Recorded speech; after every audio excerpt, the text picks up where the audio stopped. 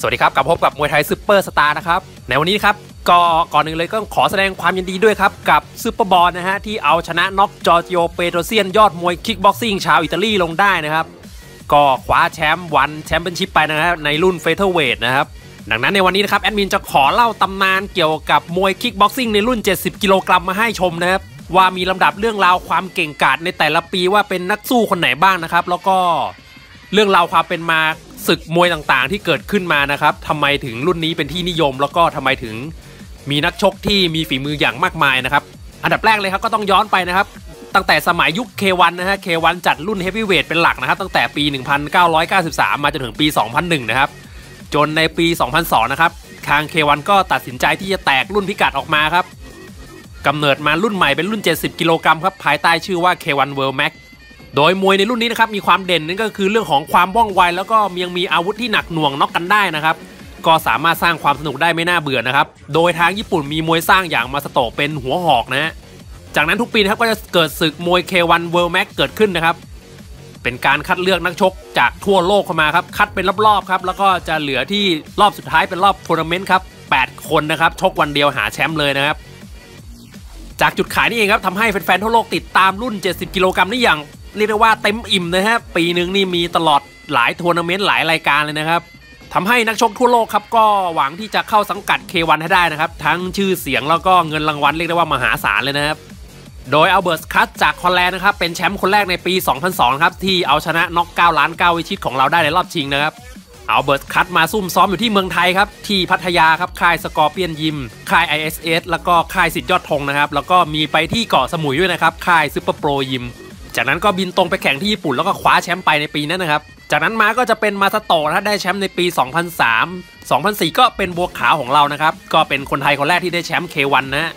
2005 เป็นแอนดี้ซาวเวอร์และ 2006 ก็กลับมาเป็นบัวขาวอีกครั้งนะครับทำให้บัวขาวป.ประมุขในขณะนั้นนะครับ เป็นแชมป์ K1 2สมัยคนแรกนะครับ แต่ว่าเป็นปีเว้นปีนะ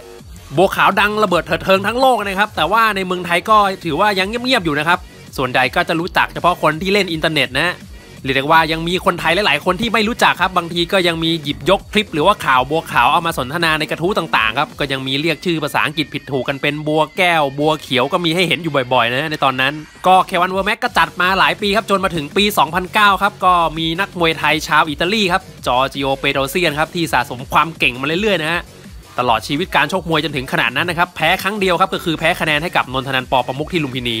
รวมถึงการได้ชกกับบัวขาวป.ประมุขที่เป็นแชมป์ K1 2สสมัยในขนาดนั้นแล้วนะครับ เปโตรเซียนก็เสมอบัวขาวไปครับ ก็เรียกได้ว่าฝีมือฉกาจฉกรรจ์ขึ้นเยอะนะฮะ จนสุดท้ายครับเปโตรเซียนก็เข้ามาร่วมวงไพบูลย์จักรวาลมวย K1 World Max จนได้นะครับ แล้วก็ตามคาดครับเข้ารอบลึกๆ และแถมได้เข้ารอบ 4 คนสุดท้ายนะครับไปอยู่สายหมูนะครับ เพราะว่าไปอยู่กับมวยญี่ปุ่นยูยะยามาโมโตะนะครับ สุดท้ายก็กลายเป็นเปโตรเซียนครับ เอาชนะแอนดี้ซาวเวอร์รอบชิงในปีนั้นครับ แล้วก็คว้าแชมป์ไปแบบสบาย ๆ เลยฮะ ถัดมาปี 2010 ครับ K1 World Max Andy Sauer กับบัวขาวนี่ไม่อยู่แล้วนะครับ แล้วก็มาสโตก็แขวนนวมครับทำให้เปโตรเซียนเนี่ยไล่คู่แข่งแบบเกรด A นะฮะ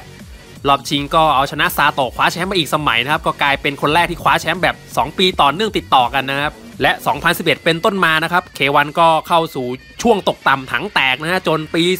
2012-2014 ก็เรียกได้ว่ามีฝรั่งมาช่วยจัดให้นะ แล้วก็พักหนึ่งใหญ่ๆนะฮะญี่ปุ่นถึงกลับมาจัดมวย K1ได้เหมือนเดิมนะครับ แต่ก็เรียกว่าไม่ปังไม่ดังมากเหมือนในอดีตแล้วนะครับสำหรับ K1 นะครับในช่วงปี 2010-11 นะฮะเป็นเรียกว่าเป็นช่วงตกต่ำนะครับแล้วก็ก่อนที่มาซาโตะจะทำการแขวนนวมนะฮะทาง K1 ก็พยายามผลักดันซูเปอร์สตาร์หน้าใหม่อย่างฮิโรยะนะครับจะให้มาเป็นเบอร์หนึ่งของโลกครับใน K1 World Max เรียกว่าส่งมาเรียนรู้มวยไทยชุบตัวถึงค่ายแก้วสัมฤทธิ์นะอยู่เมืองไทยหลายปีครับหวังจะต่อยอดรับช่วงทายาทอสูรจากมาซาโตะให้ได้นะแต่ถ้าว่าการลงทุนกับฮิโรยะนั้นถือว่าล้มเหลวนะครับอันดับแรกเลยครับก็คือฮิโรยะพอโตขึ้นแล้วนะครับน้ำหนักไม่ถึง 70 กิโล K1 World Max นะครับทำให้ไม่สามารถสารต่อรุ่น K1 World Max ได้นะครับโดยแอดมินเองนะครับก็เคยเจอตัวจริงของฮิโรยะที่เวทีมวยล้านดำเนินด้วยครับ ซึ่งตอนนั้นก็ไปยืนเทียบกันแล้วก็ประเมินได้เลยครับว่าฮิโรยะนั้นไม่สามารถที่จะทำน้ำหนักตัวไปถึงรุ่น 70 กิโลแน่นอนครับกับความสูงแค่นั้นนะฮะถ้าทำน้ำหนักได้นี่ก็จะถือว่าเตี้ยตันแบบสุดๆเลยนะฮะสาวก็จะไม่กรี๊ดแบบมาสโตะความผิดพลาดที่ 2 ก็คือว่า K1 ก็เปิดเวทรุ่นใหม่ให้กับฮิโรยะเลยนะครับ ก็คือรุ่น 63 กิโลกรัมครับ แต่ฮิโรยะก็ไม่ถึงแชมป์นะสรุปก็คือไม่ได้เก่งกว่านักมวยญี่ปุ่นคนอื่นๆเลยนะครับ ก็เรียกได้ว่า K1 นี่ถือว่าพลาดอย่างแรงครับ ซึ่งในปี 2012 ครับ K1 ก็เรียกได้ว่าก็จัดอยู่นะฮะแล้วก็เรียกได้ว่าไม่ดังเท่าไหร่นะครับ แต่ว่าทางฝั่งยุโรปครับเริ่มมีการบูมศึกกอรี่ขึ้นมานะครับ ก็เรียกได้ว่า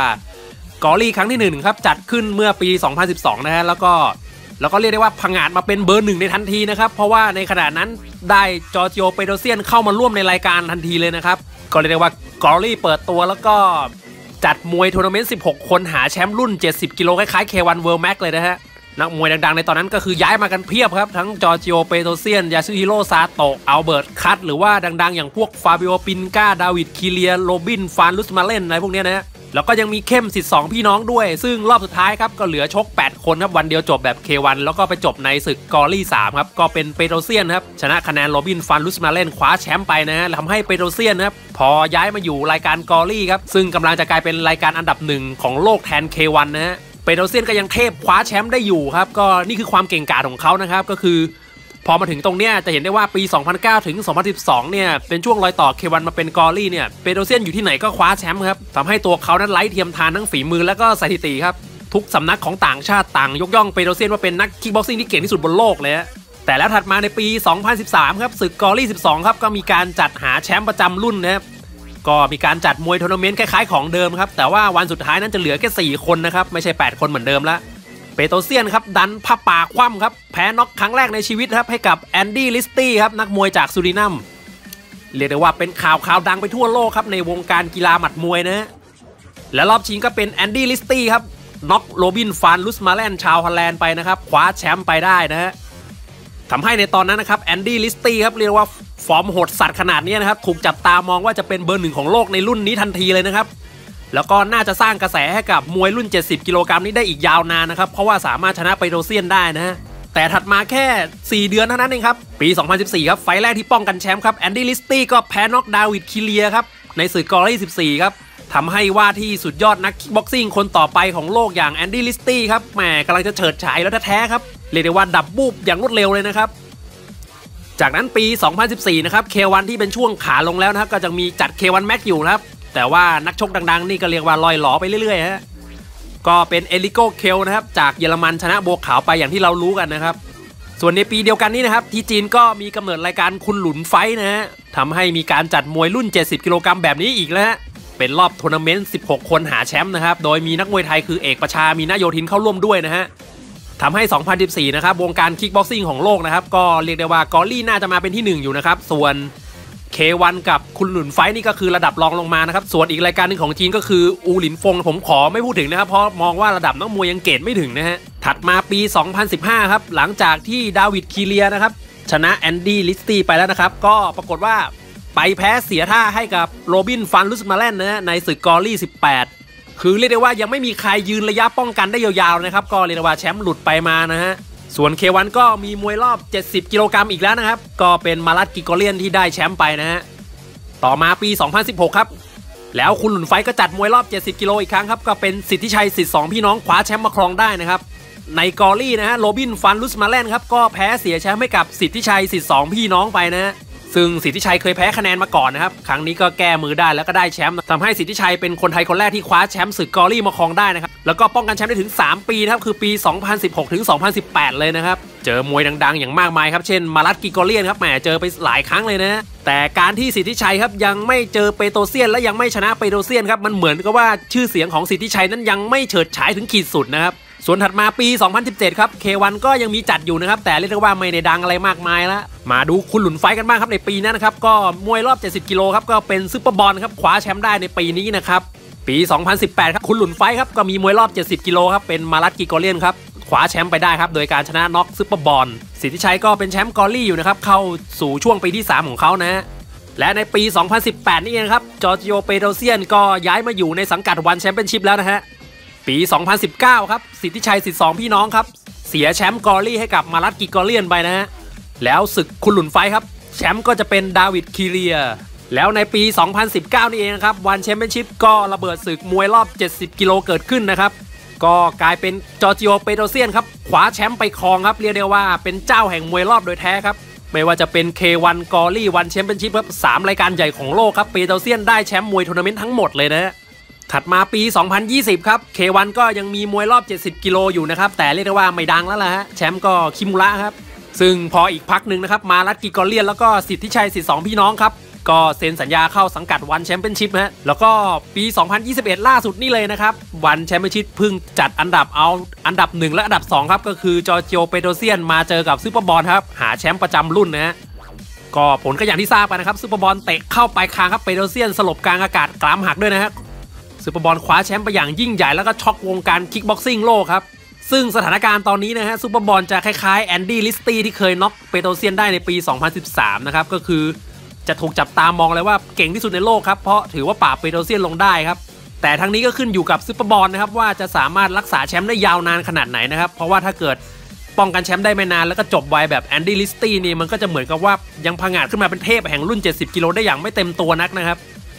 ซึ่งทั้งนี้ซูเปอร์บอนก็ยังเหลือมารัตกิกอเลียนครับที่ต้องตามล้างแค้นให้ได้ครับ ก็จะเรียกได้ว่าชนะตัวเด่นๆของโลกอย่างเบ็ดเสร็จนะก็ยุคนี้ก็ถือเป็นยุคของ ONE Championship อย่างเต็มตัวนะครับ สมัยก่อน K1 Glory อาจจะเข้าถึงยากสำหรับคนไทยนะครับ ต้องนั่งเปิดอินเทอร์เน็ตดูนะแต่ ONE Championship นี่เข้าถึงง่ายครับ มีทีวีถ่ายมีถ่ายสด YouTube นะครับ แล้วก็นักมวยไทยก็เดินทางง่ายครับ ส่วนใหญ่ก็จะอยู่สิงคโปร์แล้วก็ประเทศในย่านเอเชียของเรานะครับทำให้การเดินทางและการปรับตัวสภาพอากาศไม่เป็นอุปสรรคใหญ่นะครับ แถมในอดีตนะครับ K1 หรือว่า Glory นะครับจะให้คนไทยเข้าไปแข่งได้นี่โควต้ามันน้อยนิดมากนะแต่พอเป็น ONE Championship ครับกลายเป็นคนละเรื่องครับเรียกได้ว่าหลายๆรุ่นเลยนะครับจะมีนักมวยไทยหลาย ๆ คนเข้าไปให้เราได้ลุ้นกันนะครับเรียกได้ว่ายังมีนักมวยไทยอีกหลายคนนะฮะที่รอเฉิดฉายในอนาคต ส่วนข้อสังเกตหนึ่งที่จะเห็นเลยนะก็คือว่าญี่ปุ่นนะครับแหมไม่มีตัวตายตัวแทนมาซาโตะในรุ่นนี้นะครับก็เรียกได้ว่าตัวท็อปของโลกครับไม่มีคนญี่ปุ่นนะฮะหลายปีแล้วครับ แล้วก็อีกข้อสังเกตหนึ่งครับเปโตเซียนแข่งมวยรอบทัวร์นาเมนต์นะครับไม่ว่าจะ K1 Glory หรือว่า ONE Championship ครับ ได้แชมป์หมดเลยนะครับ แต่พอ Glory หรือว่า ONE Championship ครับ จัดแมตช์ชิงแชมป์ประจำรุ่นนะฮะก็แพ้ไม่ได้แชมป์นะครับแหมเหลือเชื่อมากครับ ได้แชมป์เฉพาะรอบทัวร์นาเมนต์นะครับ แต่แชมป์ประจำรุ่นนั้นแพ้ครับ แพ้แอนดี้ลิสตี้แล้วก็แพ้ซูเปอร์บอนนี่แหละครับผม ครับนี่ก็เป็นเรื่องราวในอดีต ปัจจุบันแล้วก็อนาคตที่อาจจะเกิดขึ้นนะครับสำหรับมวยคิกบ็อกซิ่งรุ่น 70 กิโลกรัมนะครับก็สรุปมาให้รับชมรับฟังกันนะครับ ถ้ามีข้อมูลผิดพลาดประการใดก็ต้องกราบขออภัยมาณที่นี้ด้วยนะครับผม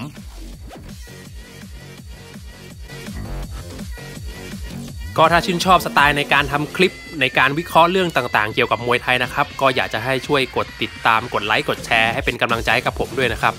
ในคลิปถัดไปครับก็มีของดีที่จะนำเสนอแบบนี้อีกเรื่อย ๆ นะครับ อย่าลืมกดติดตามและกดกระดิ่งแจ้งเตือนด้วยนะครับ ผมขอบคุณมากครับ